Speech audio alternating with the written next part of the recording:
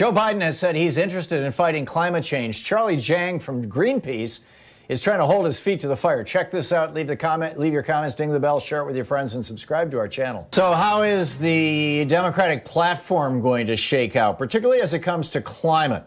Greenpeace USA, uh, greenpeace.org slash USA has been working on the Democrats and on the platform, uh, the people on the platform committee trying to get some, some, uh, you know, some good stuff in there. Charlie Jiang is with us. Uh, Charlie is a climate campaigner with Greenpeace USA, fighting for the Green New Deal. Charlie, welcome to the program. Tell us about the uh, conversations and efforts you are undertaking to influence the uh, fate and future of the Democratic platform here. Yeah, thanks for having me, Thom. Um, well, Greenpeace has been you know, fighting for a long time to ensure that elected officials take bold, ambitious, and, and just action to address you know, not just the climate crises, but all the crises we face together. Um, so we have been, you know, pressuring uh, presidential candidates all up and down um, the past the past year uh, to include a really strong position on tackling um, the climate crisis with a Green New Deal and with a plan to ensure managed phase out of fossil fuel production. Uh, the latest, you know, DNC Climate Crisis Council platform uh, represents a, a pretty solid uh, win in my in my view um, for how the baseline for action from you know from even uh, the Democratic Party has shifted dramatically in the last year. So. Uh, we don't have a vice presidential candidate yet. I'm assuming that that person, you know, if, if Joe Biden picks somebody who is um, well, we'll just use conventional terms, moderate. You know, if, if, he picks an Amy Klobuchar, although she's taken herself out of the race, but you know, somebody somebody like her, um, I would think that that would have influence on the pl- platform versus his picking somebody who is more progressive. Um, what, or or do you think that that that those processes are independent? Are are you know, and and and when I believe the platform finally gets ratified at the convention, but at what point?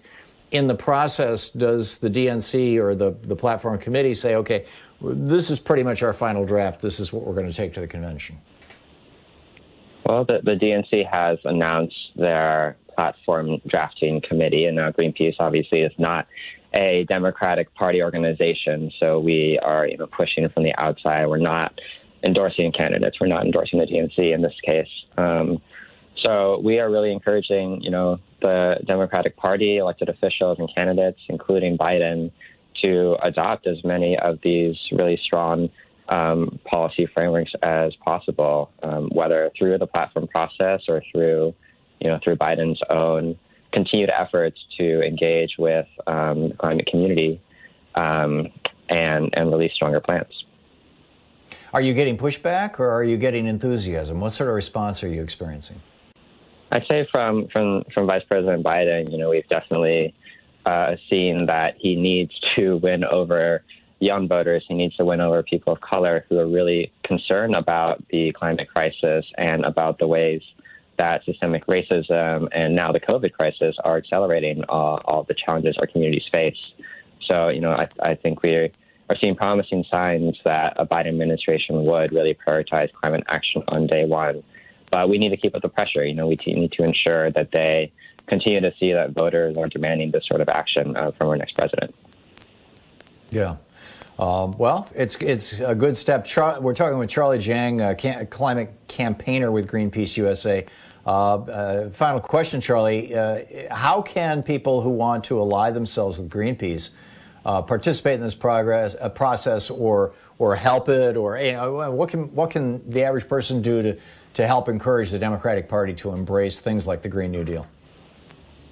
Yeah, I'd, I'd say there are so many ways. I mean, you know, the first is is to be uh, to be vocal with uh, with elected officials, with candidates, um, you know, with uh, with members of Congress. And many members of Congress are part of the you know both parties, right, party or, um, operations. So um, we just need our our politicians to hear from people, whether that's calling emailing or tweeting about the kinds of actions we want them to take. Um, and of course, uh, making sure that we get everyone to the polls in November um, or ensure everyone can vote safely by mail. Uh, we're going to need to continue to, yeah, make our voices heard, um, you know, both in the public forums that we have available to us and at the ballot box.